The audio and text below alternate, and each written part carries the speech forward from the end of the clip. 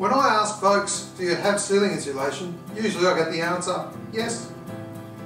But when I ask, well, do you know how much ceiling insulation you have? Usually nobody knows.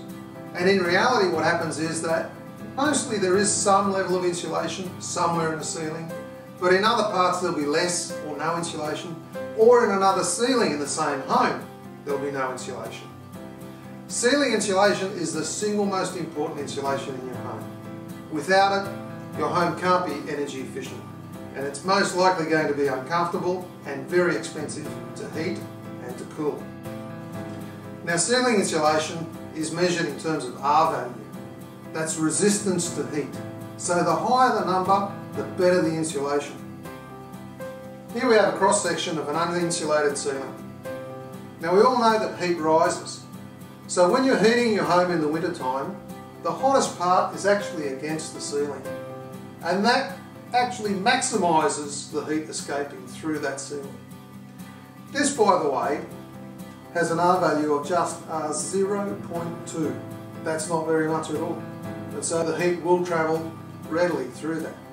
In the summertime, the temperature in your roof space can be as hot as a sauna and that heat will readily push through the ceiling into your home, greatly increasing the cost of cooling. Quite often, ceilings are insulated by some form of loose fill.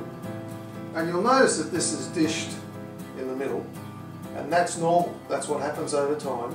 And in fact, it dishes across the house as well. So your living area in the middle of the home is even less well insulated. So the R value of this varies quite a lot, usually from between R1 and R2. So if you've got this type of ceiling, it's important to even it out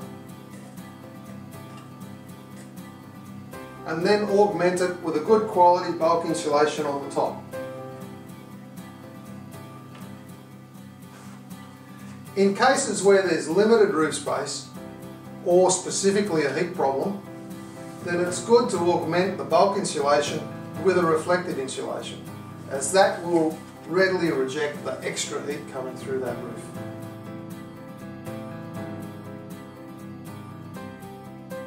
Here we see an R4 batt. And this material, by the way, is the best material available. This is polyester. It's non-allergenic. It has very good loft. That is, it stays springy. It maintains its shape and that will last a lifetime. Now the R4 batt is 20 times better than the R0.2 uninsulated ceiling. Think about that. It's 2000% better. That's worth doing.